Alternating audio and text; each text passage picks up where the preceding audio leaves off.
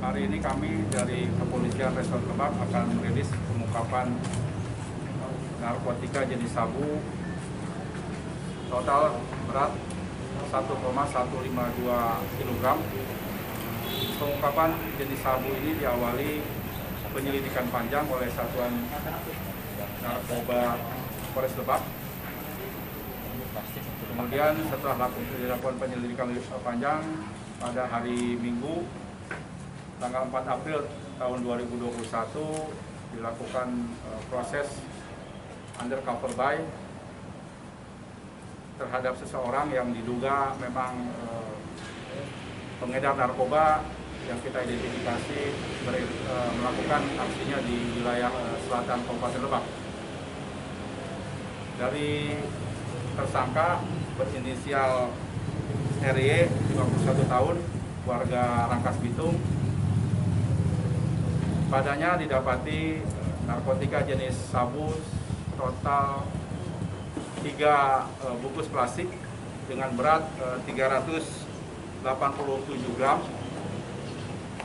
di Jalan Raya Cilogram Bayar, Kecamatan Bayar, Kabupaten Lebak.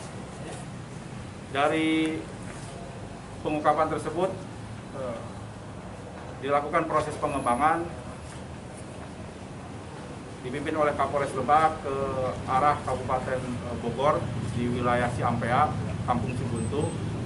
Kemudian di dalam proses pengembangan tersebut eh, didapatkan satu orang tersangka dan di rumahnya eh, kami dapatkan satu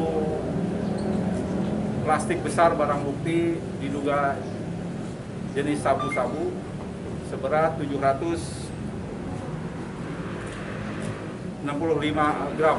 Jadi yang kami dapatkan di rumah tersangka 2 dengan uh, inisial HS uh, seberat 765 gram.